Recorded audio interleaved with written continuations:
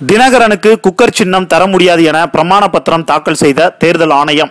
வரும் மக்களவைத் தேர்தலில் நாற்பது நாடாளுமன்ற தொகுதிகளிலும் பதினெட்டு சட்டமன்ற இடைத்தேர்தலிலும் அமமுக போட்டியிடும் நிலையில் இந்த தேர்தலில் தனது கட்சிக்கு குக்கர் சின்னத்தை ஒதுக்க வேண்டும் என்று தேர்தல் ஆணையத்தில் டிடிவி தினகரன் கோரிக்கை வைத்து இருந்தார் ஆனால் தேர்தல் ஆணையம் அவருடைய கோரிக்கையை ஏற்க மறுத்ததால் இதுகுறித்து அவர் உச்சநீதிமன்றத்தில் வழக்கு தொடுத்து இருந்தார். இந்த வழக்கு இன்று மீண்டும் விசாரணைக்கு வந்தது. இன்றைய விசாரணையின் போது தினகரன் கட்சிக்கு குக்கர் சின்னத்தை வழங்க முடியாது என்று தலைமை தேர்தல் ஆணையம் உச்சநீதிமன்றத்தில் தெரிவித்துள்ளது. மேலும் தினகரனின் அமமுக பதிவு செய்யப்படாத கட்சி என்பதால் பொது சின்னத்தை வழங்க முடியாது என்றும் உச்சநீதிமன்றத்தில் தலைமை தேர்தல் ஆணையம் பிரமாண பத்திரம் தாக்கல் செய்துள்ளது.